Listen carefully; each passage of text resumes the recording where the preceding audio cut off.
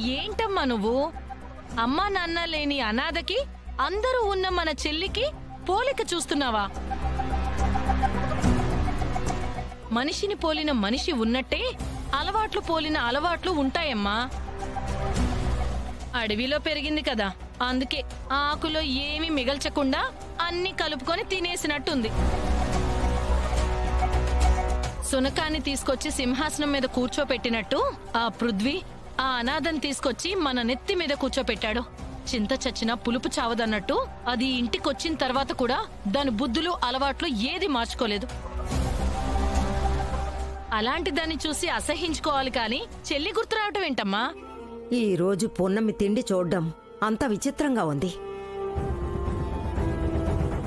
ఆ దేవుడు నాకు ఏదైనా పరోక్షంగా చెప్పాలనుకుంటున్నాడా?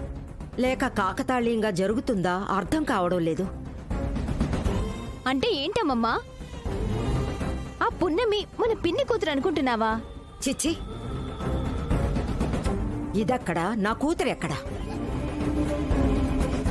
దీనికి నా కూతురికి నక్కకి నాగలోకానికి ఉన్నంత తేడా ఉంది.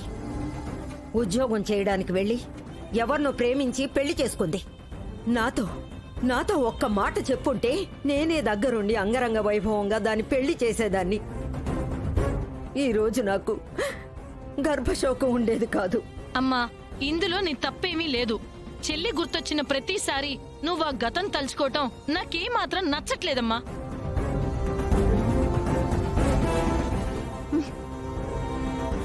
అవునమ్మమ్మా ది గ్రేట్ భానుమతి అంటే అందర్నీ భయపెట్టేలా ఉండాలి కానీ ఇంత సెంటిమెంటల్గా ఎమోషనల్ అయిపోకూడదు.